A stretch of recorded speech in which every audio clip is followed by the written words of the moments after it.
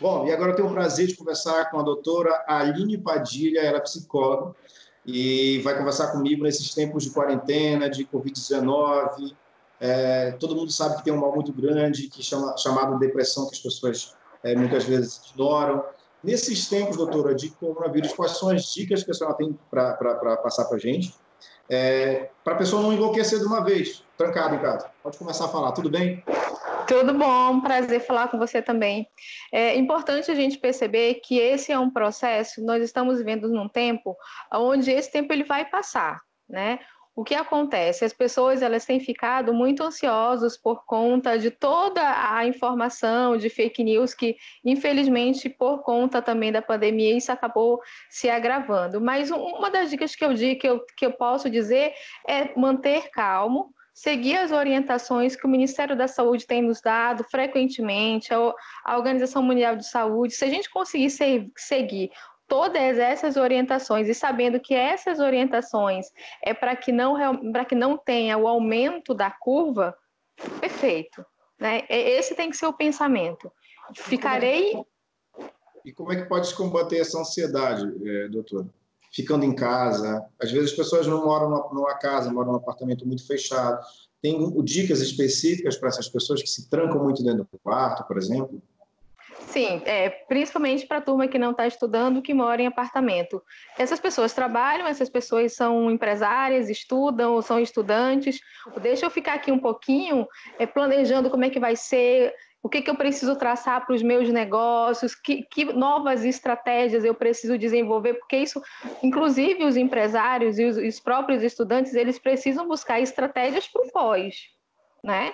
Como que eu vou conseguir vencer toda essa questão? Então, assim, vou ter um, vou fazer o almoço, vou cuidar dos serviços de casa, vou cuidar de uma planta que antes não era eu que, que, que fazia esses cuidados, então vou procurar cuidar, vou, vou observar coisas que eu não tinha o cuidado de ver antes, como o armário que faz muito tempo que eu não organizo, uma conversa com o filho que faz tempo que eu não converso, um amigo distante que mora em outro país e a gente tem as redes sociais, como nós estamos fazendo aqui, bater um papo, trocar ideias. Então, tem várias outras.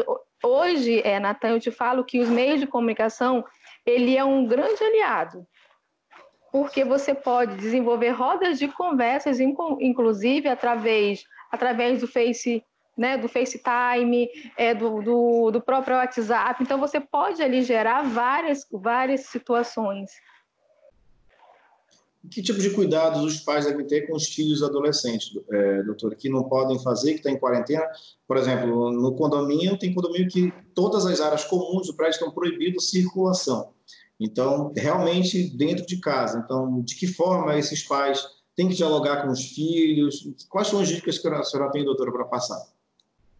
É, é, bem complicado se a gente pensar, é, é, complicado e é fácil também, porque o que a gente observa, esses pais, eles acabavam não tendo muito contato com esses filhos, né, Natan? Infelizmente, por claro, por conta do trabalho, da escola, da vida corrida. O importante é desenvolver brincadeiras lúdicas que os pais, sabe aquelas brincadeiras que a gente, de tabuleiros, é, de jogos que, que nunca mais se jogava, favorecer esses encontros ali, porque realmente precisa se evitar esses lugares comuns. Né? Então, brincadeiras, rodas de conversa, um, um, jogo de dominó, um jogo de cartas, um baralho, né, um jogo lúdico, mas é favorecer. Vamos fazer o almoço junto? Eu faço, você corta, é, o outro lava a louça, o outro junta o lixo.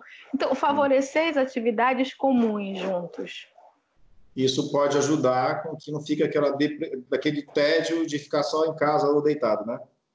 É, mas isso vai acontecer, viu, Natan? Se eu te disser que vai ser inevitável que o isolamento não vai trazer sintomas de irritabilidade, é, tédio, ansiedade, sintomas depressivos, irritabilidade, isso infelizmente vai acontecer, né? Infelizmente o confinamento. Você acredita que esse aumento do, do confinamento eles pode é, causar outro tipo de doença nas pessoas, Pode, pode sim. Pode sim. É, a gente já está o que é quatro semanas, quatro semanas, dependendo, dependendo do, do tempo, é possível que pessoas que já tenham sintomas de ansiedade isso possa aumentar um pouco mais. Pessoas que já tenham um, um sintomas é, ao longo do seu dia de depressão, provavelmente isso pode, é, transtorno pós-traumático, por exemplo, isso pode acontecer, né? Porque a turma tá, não posso sair, não posso ir na área comum, não posso ir ali, não posso para a escola. Então pode desenvolver, por exemplo, um trauma, um estresse pós-traumático. É possível, sim, infelizmente. Entendi. Doutora, e, e como é que a senhora está é, também, já falando da senhora no caso, como é que a senhora está lidando também com essa quarentena? A senhora como psicóloga e tal, como é que a senhora está lidando com tudo isso? Ela tem, tem saído, tem ido no mercado, ou está só em casa? Tenho saído, a gente tem que falar a verdade, né? Estava atendendo, tenho atendido online, emergência, às vezes eu saio para atender também. É, mas uma das dicas que eu posso dizer, Natan, é não ficar com excesso de informação. Eu sei, eu saio para ir no, na drogaria, eu saio para comprar alguma coisa. Quando saio, álcool na bolsa, claro, é, a máscara, sem muito contato com as pessoas, fazendo todo aquele ritual de não se aproximar muito, então eu tenho feito isso. E uma das outras dicas que eu realmente não tenho feito é ouvir ou ler excesso de informação que não são verídicas. Então, isso. E eu, Diminuir, eu confesso. As fake news, né? Cortar 100% Sim. da fake news. Cortar é, fake news, sabe? Então, e eu tenho então, feito isso. Você está também fazendo atendimento online, da sua casa mesmo também? Sim, sim, tenho feito online, até porque os meus pacientes, eles são, alguns são idosos, então eu não posso, por, por eles estarem no grupo de risco, né, então eu não tenho feito atendimento é, presencial, se vou é um e só, né, então tenho feito em casa, sim. Mas agora, esse atendimento é, foi autorizado, inclusive, já pelo, né, pelo Ministério da, da Saúde, que os médicos podem atender online e tudo mais, né? A medicina, né? Pela internet. Foi autorizado é, agora, então está tudo dentro dos, dos, padrões, não é isso, doutor? Sim, sim, exatamente. Todos os conselhos é, por, for, acabaram autorizando, né? E a gente teve que fazer algumas formações, alguns encontros é, de maneira virtual para estar tá dando suporte para os nossos pacientes nesse momento. Legal. É, doutora, e qual é a dica que você tem também para os profissionais que estão na linha de frente, né? Os enfermeiros, os médicos que estão na linha de frente é, nesse momento também, porque estão vendo ali tudo que está acontecendo. Nós estamos vivendo um momento muito delicado aqui no nosso estado, estamos aí no ranking na, na, em, em, todo o país, então a cabeça desse profissional deve estar muito ali zoada, né? Qual é a dica que você tem também, então, para dar para esses profissionais da área de saúde, doutor? Nossa, tua pergunta foi a única pessoa que me fez essa pergunta em relação aos comportamentos, assim, os sintomas e, e para os profissionais da saúde, né? Então, assim, infelizmente, eles podem estar desenvolvendo vários sintomas, Natan, como insônia, é, também número de ansiedade muito grande, exaustão, é, dificuldade, esse, esse profissional, dificuldade de se manter isolado, é, que mais que eu posso dizer? Dificuldade de concentrar-se nas suas atividades em casa. E esses profissionais, eles precisam realmente, como suporte, como orientação, tentar chegar em casa e esquecer que eles não estão mais no seu ambiente de trabalho, que eles estão em casa precisando se cuidar, né, e cuidar dos seus também. Então, tentar descansar, tentar se alimentar, é, conversar ali com o que for necessário com seus filhos, com seus pais, né, com seus netos, na medida do possível, mas tentar se desligar desse meio é, de cuidado que é o que eles estão fazendo. É, porque é o trabalho, né? eles são os nossos heróis nesse momento, né? A polícia, Sim. o corpo de bombeiros, os médicos, né? E a gente tem que entender que esse trabalho é, é conjunto. A, a, perda na economia, todo mundo sabe que é em todo mundo, não é no Amazonas, não é no Brasil, é em todo mundo. Nós vamos ter essa perda. Então, a gente tem que ter essa consciência de ficar em casa, de orientar, de nos ajudar e, e fazer as coisas com que isso passe da melhor maneira possível, não é isso, doutora?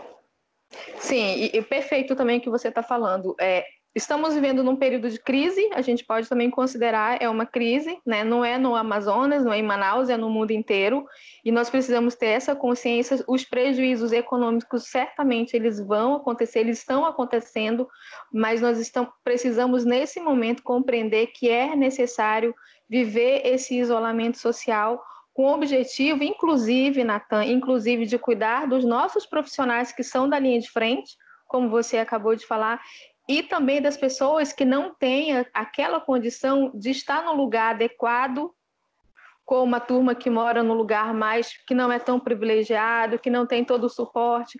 Então, nesse momento, é importante a gente compreender que terá prejuízo, terão, teremos prejuízos econômicos, mas provavelmente teremos muito mais se essas pessoas que estão em situação é, vulnerável forem mais atingidos, que provavelmente poderão também ser os mais atingidos. Né? Então, são dois grupos importantes que eu gostei da tua pergunta. São as pessoas que estão em situação vulneráveis, que são os nossos profissionais da linha de frente, mas também a população que não tem os mesmos cuidados e as mesmas possibilidades de comprar um álcool em gel, de comprar uma máscara frequentemente, de deixar. Muitos estão ainda pegando o ônibus, saindo. Então, quanto menos pessoas tiver na rua e a gente conseguir é, realmente diminuir é, um prejuízo social, econômico e psicológico, a gente também pode diminuir. Doutora, então a gente está deixando aqui nesse momento o seu e-mail, o seu Instagram, o seu contato para as pessoas que tiverem algum tipo de dúvida, quiserem conversar com uma psicóloga, uma das melhores de Manaus está aqui conversando com a gente, que é a doutora Aline. Muito obrigado por receber aí na sua casa. Sei que você não tem uma agenda aí para atender outras pessoas.